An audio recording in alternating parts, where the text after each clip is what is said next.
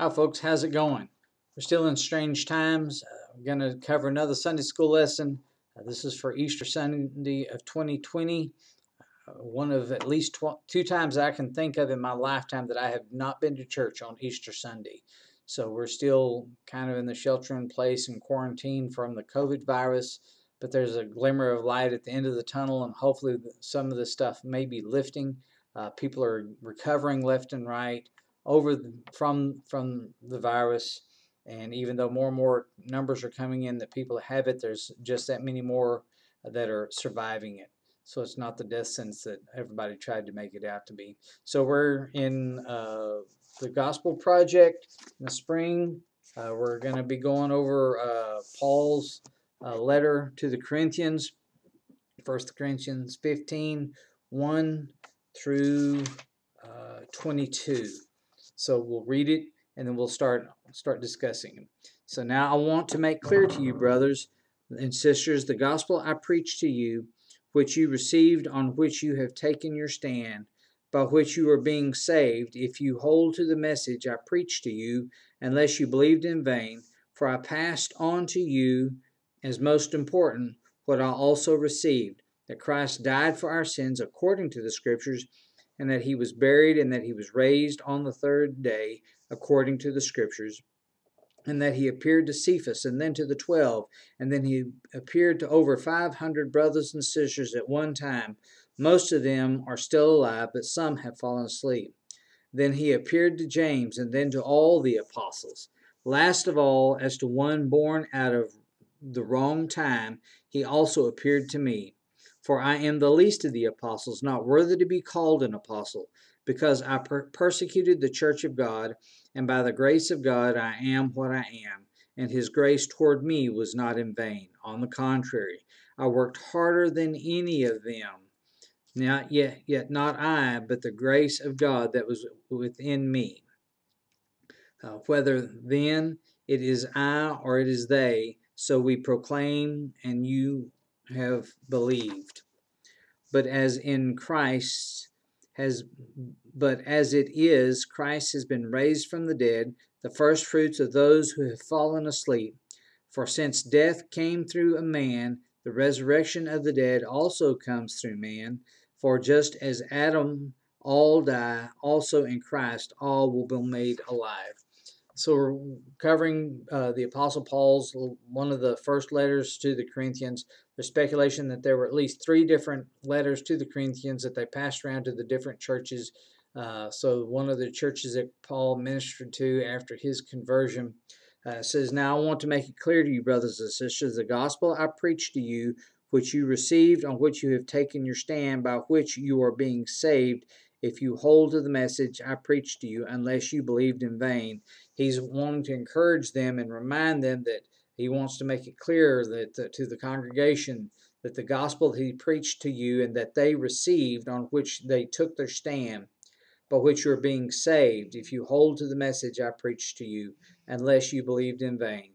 For I passed on to you this most important, I also received that Christ died for our sins according to the Scriptures, and that he was buried and he was raised on the third day according to the Scriptures. So he's talking about there that the gospel that he gave them, for them to hold fast to it, to, to cling to it, of Jesus uh, being crucified, being betrayed, crucified, and then resurrected on the third day. Not only was he resurrected, but uh, he appeared and this is all according to the scriptures. If you go throughout the Old Testament, there's there's many, many, many uh, prophecies about Jesus and about his death, burial, and resurrection.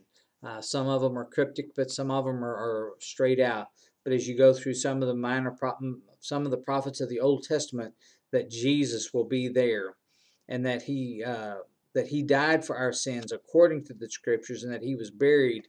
Uh, all four of the Gospels have um, have references to that, and each one from a different point of view. So in Matthew 26 through 28, Mark 11 and 14 through 16, Luke 22 through 24, and John 17 through 21 are the different uh, scriptures of the Gospels that refer to the crucifixion and the things that happened during the Holy Week or during Passover as they celebrated Passover. And Jesus became our sacrificial lamb.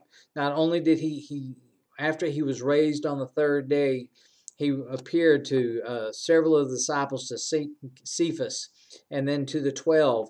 Not only that, but he appeared to over 500 individuals. And at the time of Paul writing this letter, there were many of them that were still alive. So it was like, if you don't believe me, go find someone who saw him after uh, he was crucified. It was a big deal there in Jerusalem during the Passover that Jesus was crucified. And then, can you just imagine the stir and the hubbub that, that took place after Mary Magdalene and all the other ladies ran to the tomb and found that it was empty, that the stone had been rolled away?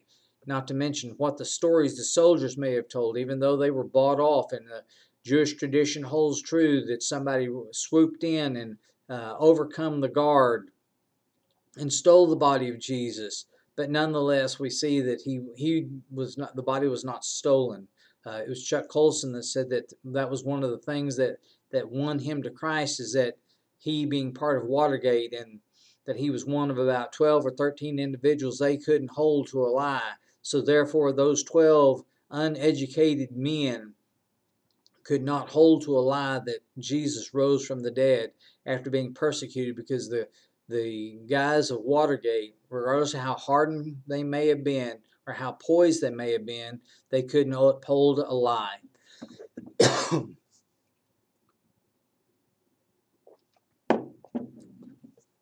and so we see there that that was one of the things that um, made Chuck Colson think twice about the resurrection and everything. And Paul goes on and talks about that um, he was born out of time. How many times? There are lots of times I feel like I haven't I haven't figured out if I was born hundred years too early or hundred years too late because I like all the old simple times. Be it there again, I, I kind of like some of the technology, and a lot of people give me a hard time for being against change. But uh, that's a whole different story.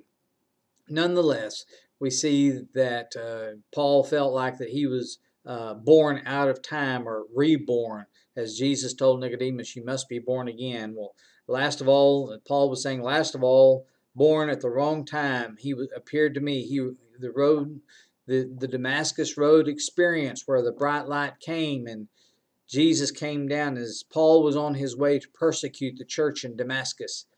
Uh, he said, Paul, Paul, why, or Saul, Saul, why persecutest thou me? You kick against the goads. And so Jesus appeared to Paul, one out of time.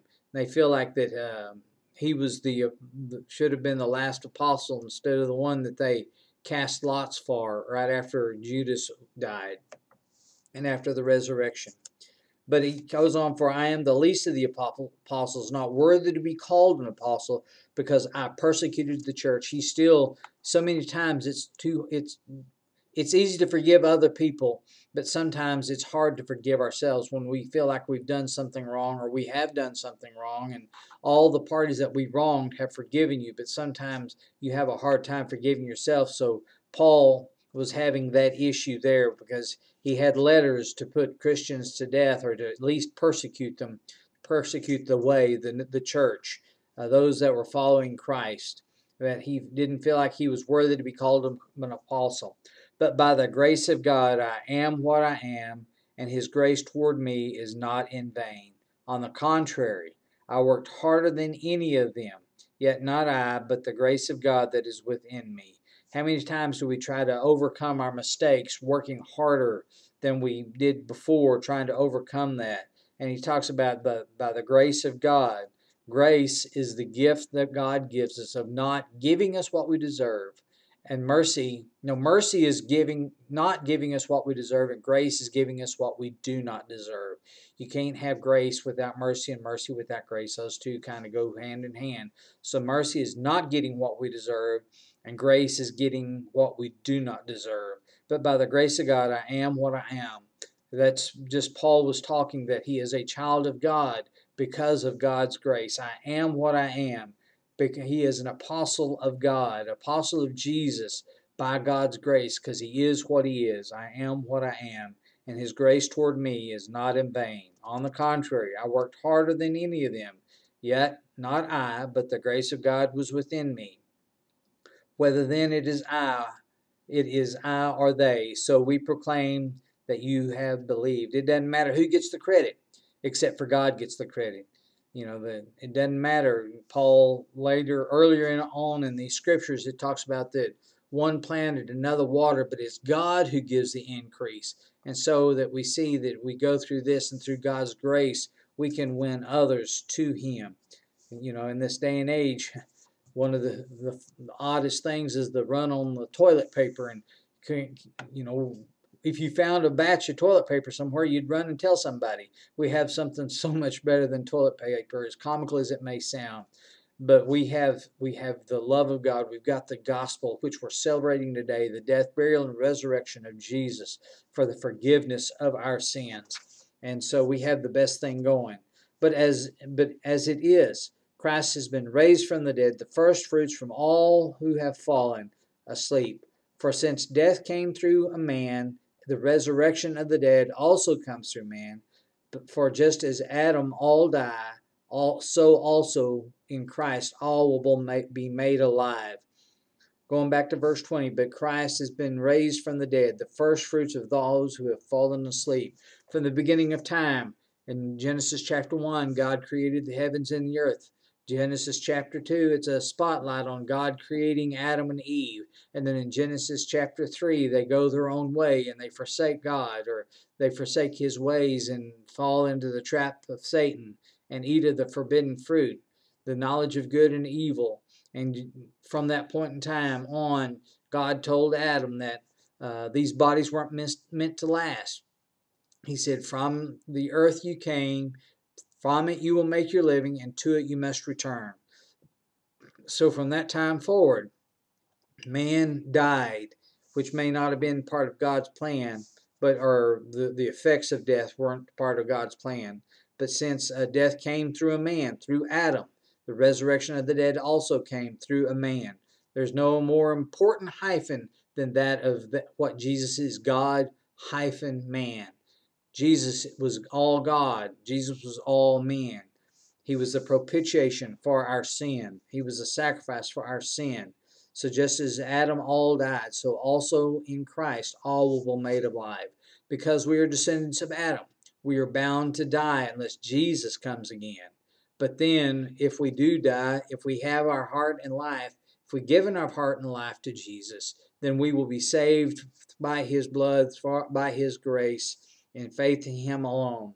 So, Christ, we will all be made alive. If you've accepted Jesus as your Lord and Savior, called out to Him, and realized that you are a sinner in need of a Savior, then that is the only way towards our Heavenly Father. So, as we go through and we celebrate this Resurrection Sunday, this Easter Sunday, whether we're at home or whether you see this and we're back to some semblance of normal, but we realize that through the blood, death, death, burial, and resurrection of Jesus, we can be forgiven of our sins, and that through that we will all be made alive. Now, as we go through this, we're going to go through the uh, different uh, fill in the blanks. Uh, the first one is on page 64 if you've got one of the Sunday school books. Says Adam, the first man, Jesus, God hyphen man, and gives scripture references Genesis 2 7, and then Luke 1 30 through 33. Centered in the image of God, uh, created, I'm sorry, created in the image of God, Genesis 1 26 through 27. Jesus Christ is the image of God, Colossians 1 15. From the earth, a man of dust, 1 Corinthians 15 4, 4, 47. And then Jesus from heaven, a life giving spirit. His then Adam, his sin brought death to all humanity, Romans 5 12 and then Jesus, his sinless death, brought life to all those who believe. Romans 5:17. His sin resulted in condemnation for all humanity, but in Jesus, his perfect life resulted in justification for all who believed. So we've got on the, the column of Adam. See if I can show you that right quick.